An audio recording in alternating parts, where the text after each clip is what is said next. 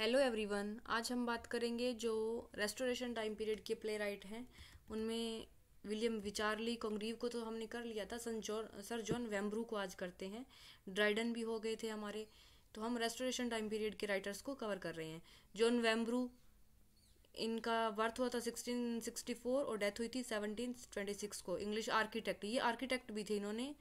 बलहनियम palace जो था, उसको डिज़ाइन किया था। He wrote two argumentative and outspoken restoration comedies ये कॉमेडी कॉमेडीज थी इनकी the relapse 1696 and the provoked wife 1697 ninety which have became enduring stage favourite but originally occasioned much controversy Vanbrugh was in many sense a radical throughout his life as a young man and a committed Whig ये Whig party को support करते थे। He was part of the scheme to overthrow James second James second तो Catholic थे Roman Catholic थे और ये Puritan थे। Put William third on the throne and protect English parliamentary democracy dangerous undertaking which landed him in the dreaded Bastille of Paris as a political prisoner and his career as a playwright he offended many sections of restoration and 18th century society not only by the sexual explicitness of his plays but also by their message in defense of women's right in marriage तो इनके work में ये defence देखा जाता है women's right का right marriage में क्या है he was attacked on both counts and was one of the prime target of Jeremy Collier. Jeremy Collier थे इन्होंने मुझे लगता है लगभग सभी रेस्टोरेशन पीरियड के राइटर्स को टारगेट किया है short view of immorality and profaneness of English stage in his architectural career he created what came to be known as English Baroque. His architectural work was as bold, as daring as his early political activism and marriage themed played. And Jared conservative opinion on the subject. Wambru was a committed Whig and member of the Whig Kit Kat Club. ये Kit Kat club के member भी थे Vanbrugh's first comedy the relapse or virtue in danger ये इसका सब title है कई बार सब टाइटल पूछ लिया जाता है was written as a sequel ये एक सीक्वल था कोली सीबर का वर्क है लव्स लास्ट शिफ्ट उसका It opened in 1696 and was highly successful. His next important piece, The Provoked Wife 1697, was also a triumph. तो ज़्यादा कुछ पढ़ने की ज़रूरत नहीं है डिटेल में, नेट के पॉइंट ऑफ़ व्यू से, इसमें बस इनके इंपॉर्टेंट वर्क और ईयर ही याद कर लो कि किस राइटर का वर्क है ये।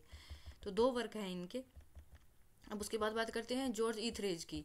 George Etherege is perhaps the most most famous restoration playwright best known of man of mode इनका वर्क है मैन ऑफ़ मोड ये बहुत इंपॉर्टेंट है।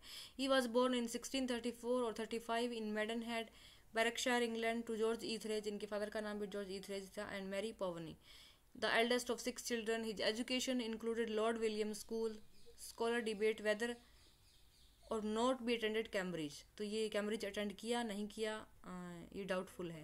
Whether he did not did और not he left in the 1640 to company his father to France तो ये France चले गए थे। He may be have seen some of Moliere जो फ्रेंच राइटर थे ना उनके प्लेज परफॉर्म इन पेरिस में। तो मोलियर के प्लेज की परफॉर्मेंस इन्होंने पेरिस में देखी होगी may be His first work, The Comical Revenge or Love in a Tub, which was a parody of contemporary manners, premiered in 1664 at Lincoln's Inn Field Theatre. It was incredibly successful, lauded for its rhymes of heroic verse and comic scenes. This gave Etheridge entry into fashionable society and he befriended literary rags such as Sir Charles Sedley, Earl of Rochester, and the Earl of Dorset. He enjoyed fashionable living and lived as a wealthy gentleman. In 1668, Etheridge premiered his second work, She Would If She Could. तो ये भी इनका एक work है। She could if she she would if she could but it was not successful due to Leicester acting acting अच्छी नहीं थी उसकी वजह से। That same year until 1671 he worked in Turkey as secretary to the English ambassador sir Daniel Harvey when he return he wrote the prologue for the opening in 1671 of the Dorset Garden Theatre A few years later, in 1676, he first staged his wittiest and most popular work, The Man of Mode. Its success helped secure him a knighthood, which he received in sir bolte na sir uh, George Etheridge, which he received in 1680. Critics consider it the best comedy written before the days of Congreve. Contemporary audience thrilled to it because of its modelling after real people तो इसमें एक तरह से real people को model किया गया है।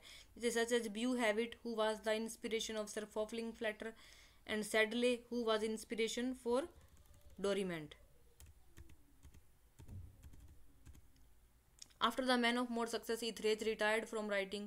He married a rich widow, Mary Shepard Arnold, in 1638. In 1685, he was appointed envoy to diet in Ratisbon. Three years later, he followed King James II to Paris after his deposition in Glorious Revolution 1688.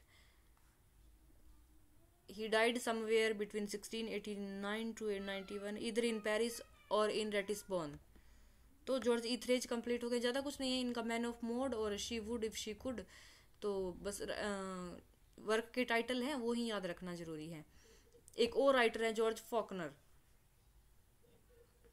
restoration time period की तो इनका work है the recruiting officer ये एक ही important work है, एक और है बट ये ही याद रहना चाहिए कि 1706 में आया था जॉर्ज फाकनर का recruiting officer who was to die before he was 30 से पहले इनकी डेथ हो गई थी just as final play the Beaux stratagem achieved renown the recruiting officer reminds us that it at this time the country was at war. The war of Spanish succession involved considerable English army losses on the continent. The stratagem of Cap Captain Palm and his Sergeant Kite ये इसके characters हैं to catch a rich wife is echoed in the Buick stratagem 1707 where, where Amwell and his friend Archer plot to win the hand of Dorinda. the daughter of rich lady bountiful both plays are set in county town away from the high society of london they use restoration themes and plot devices बस character के नाम आपको ध्यान में होने चाहिए but explore the comedy of human motivation in a new context Faulkner again was an Irishman comedies are a significant uh, Jonathan Swift भी Irishman थे और कॉन्ग्रीव भी आयरिश थे इनका बचपन कॉन्ग्रीव का आयरलैंड में बीता था। Significant contribution to the opening up of local setting for social comedy between 1707 and 1737 drama went into critical decline although the theatre was still very active in and popular theatre popular था, लेकिन drama एक तरह से decline हो रहा था। उसकी popularity कम हो रही थी। The decline was partly due to opposition from Jeremy Collier and others and partly because the middle class were turning to journals तो जेरमी कोलियर ने काफ़ी कुछ वो सेंसरशिप लगा दी थी कि इस तरह के प्रेज नहीं लिखे जाने चाहिए लैंग्वेज है स्टोरी है उसके ऊपर तो उसकी वजह से कुछ कम हो गया था और एक जो मिडिल क्लास का टर्न था वो जनरल न्यूज़पेपर और the developing new genre of fictional prose to find discussion entertainment and enforcement of their values and belief. Farce and musical plays became the regular entertainment and the only ये John Gay का play है, opera. The Beggar's Opera only the Beggar's Opera 1728 by John Gay achieved lasting popular success तो John Gay का Beggar's opera जो 1728 में आया था, बस आपको इतना याद होना चाहिए, किसका वर्क है और किस ईयर में आया है। It is described as a Newgate pastoral and ironic description since Newgate was London's principal prison.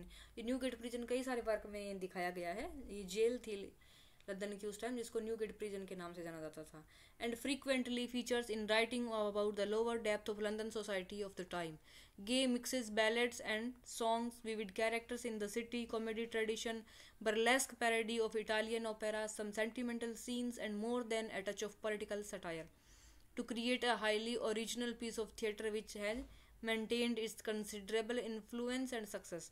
This scene between Polly Pincham and the villain या hero Macheath show how different the beggars Beggar's opera is from the earlier comedies it was however the element of political satire which was to bring trouble to the in theatre in the thirties sir Robert Walpole the Whig prime minister from seventeen twenty one to forty two तो ये इक्कीस साल तक एक तरह से prime minister है objected to satirical attacks on him in Beggar's opera तो इनके ऊपर बैगर्स ओपेरा में सटायर किया गया है। जोनगे का जो वर्क है.